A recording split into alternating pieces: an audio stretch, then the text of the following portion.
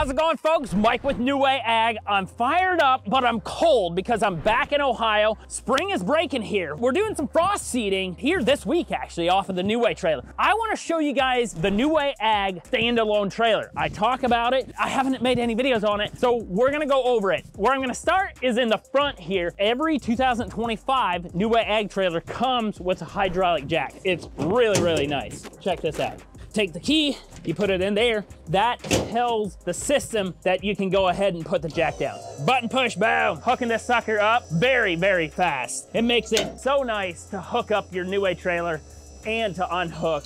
That's how quick I can have my trailer hooked up and out of here. So let's get into it. 2025 standalone trailer is going to come like this. It has no tanks, nothing to, you know, go spray. So you're gonna need to put your own tanks on it, set it up however you want. It has a 22 foot deck over on the bottom with a 32 foot flight deck up top. The whole trailer is powder coated, high quality finish, durable. It's three to six times stronger a powder coated finish than wet paint. On the, the deck over here, you see that we have tread plate in the front as well as tread plate in the back. That allows us to have one continuous board run from the back to the front so you don't have any uh, boards butting up against each other. Plus, it looks cool and it's stronger that way. 8K axles, with 16 ply tires. Like we're not cheaping out on this stuff. In the back here, we have reverse lights or backup lights to help illuminate when you're backing up at night. But another thing is I never thought about it until I started using it. Dude, it is a safety concern as well. You know, if you're backing up a trailer, yeah, your backup lights come up on your truck, but not in the back. So if a guy is standing back here, you can be backing up. He doesn't know that you're backing up. Now, with these lights, you put it in reverse, you know, white lights come on. It really helps helps for safety as well. And then in the back, right here,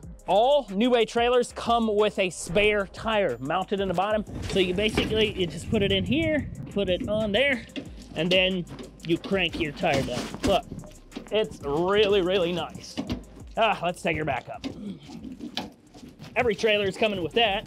Let's leave that there for now. Lots of marker lights on this trailer. If you look, there's one, two, three, four, five, six, seven on the top flight deck. One, two, three, four, five on the side marker lights on the back. We thought about it. This trailer right now is the best and most efficient drone trailer on the market. So this whole trailer, how it sits right now, you're just under 6,000 pounds. That is the standalone trailer. We can take you up. Actually, why don't we do this? Two access steps on each side, easy to get up. You can see here how we lock down the door. This door is now constructed out of the same material as the deck itself, no longer a metal door. It's easy to open, it's light and it's strong. Come right up in here.